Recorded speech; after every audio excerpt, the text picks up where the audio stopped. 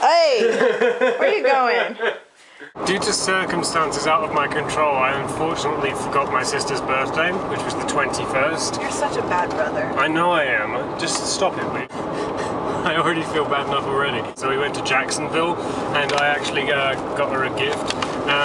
First of uh, many things I'm going to do for her, but I just want you lot down below uh, in the comments there. I want you to let her know how sorry you are for forgetting her birthday, okay? So everyone just say, Rebecca, I'm sorry. That'll be amusing. Let's see how many spellings of Rebecca we can get. And add your most imaginative spelling of her name too.